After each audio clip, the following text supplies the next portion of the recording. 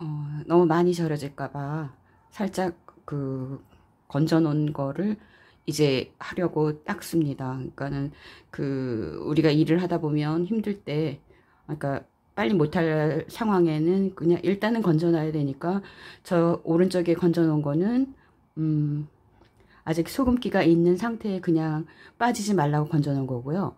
왼쪽에는 닦아서 건져 놓는 겁니다. 이 과정을 세 번을 반복해야 됩니다. 지금 이 과정은 두 번째 어, 배추를 씻는 겁니다. 어, 깨끗한 물에 그 샤워하듯이 이렇게 닦아서 왼쪽에 그 첫 번째 닦아 놓은 거를 놓고 두 번째 그 닦은 걸 저쪽에 건져 건져 놓는 겁니다. 세 번째 닦을 준비하는 겁니다. 그러니까 두 번째 닦아 놓은 거고요. 음.